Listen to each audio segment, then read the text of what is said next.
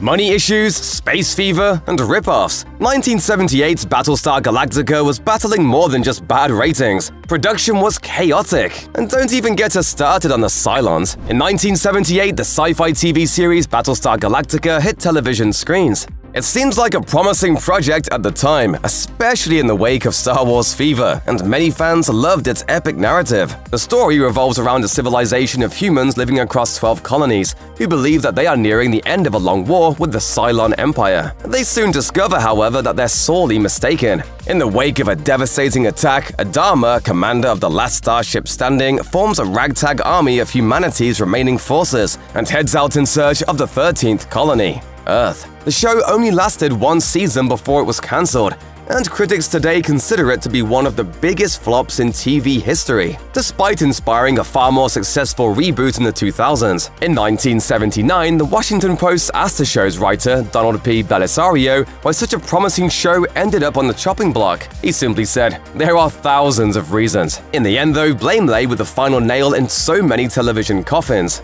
Ratings Battlestar Galactica enjoyed plenty of hype to begin with, leading mainstream media sources to declare the show a hit. The premiere, which aired on September 17, 1978, was the fifth highest program of its week. However, the sci-fi show quickly lost ground to competition on CBS, which was airing shows like All in the Family and NBC, which set the wonderful world of Disney in the time slot against Battlestar Galactica. The ratings slid downward rapidly, from a 40 share to under 30 in less than two months. While the series still didn't do badly overall to begin with, it was incredibly expensive. Sources quoted in the book By Your Command claim that the three-hour pilot cost between $7 million and $14 million to produce. Each subsequent episode cost $1 million, which was more than twice the average of an hour-long series. With ratings not meeting expectations, it's possible that ABC decided it didn't need a massive, cash-consuming sci-fi project. At the time, Bellisario told The Post, I can't argue with numbers. We have dropped down. There's no one thing to blame. Sunday night is the hottest viewing night of the week, and the other networks hit us with everything they could. The show faced a few other problems, however.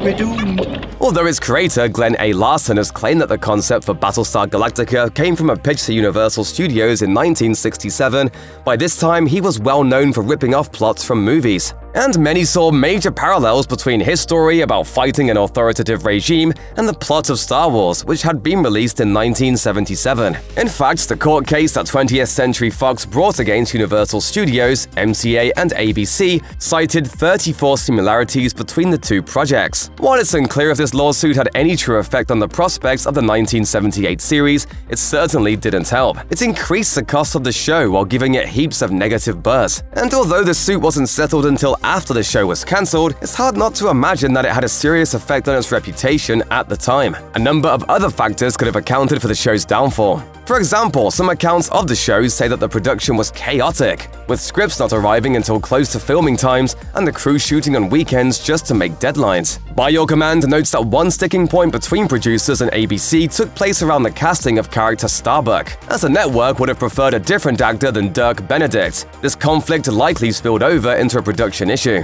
On top of all that, sci-fi in general was a harder sell in those days. As producer of the revamped Battlestar Galactica, Ron Moore pointed out in a 2014 interview with Fast Company, the original series aired early in the evening during a family-friendly slot, leading to some censoring of elements that its creative team didn't like. Bellisario complained that the evil Cylons became, in his words, rather laughable, and the show couldn't depict its killing machines as actual menaces. He told the Washington Post, We just couldn't take them seriously. We just couldn't make them believable as adversaries. In the end, while Battlestar Galactica didn't prove successful in its time, it launched what grew to become a landmark sci-fi franchise. And for that, the original series deserves to be remembered.